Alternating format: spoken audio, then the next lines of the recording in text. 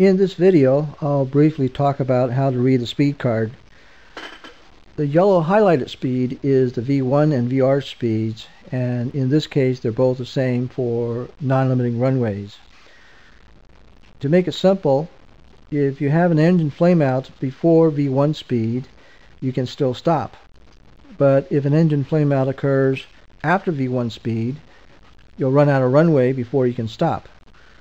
So what you should do in that case is to continue the takeoff and take care of your problems in the air. The aircraft is designed so that you can lift off with one engine.